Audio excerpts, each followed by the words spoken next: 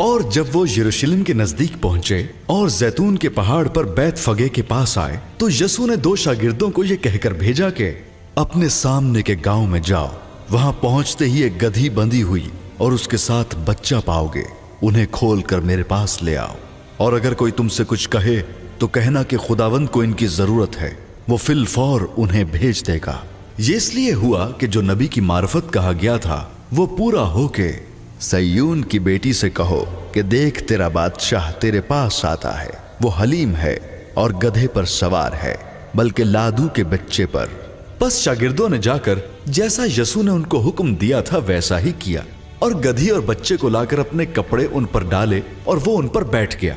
और भीड़ में के अक्सर लोगों ने अपने कपड़े रास्ते में बिछाए और औरों ने दरख्तों से डालियाँ काट कर राह में फैलाई और भीड़ जो उसके आगे आगे जाती और पीछे पीछे चली आती थी पुकार पुकार कर कहती थी इब्ने दाऊद को होशाना मुबारक है वो जो खुदावंद के नाम आता है आलम बाला पर होशाना और जब वो यरूशलेम में दाखिल हुआ तो सारे शहर में हलचल पड़ गई और लोग कहने लगे ये कौन है? भीड़ के लोगों ने कहा ये गलील के नासरत का नबी यीशु है।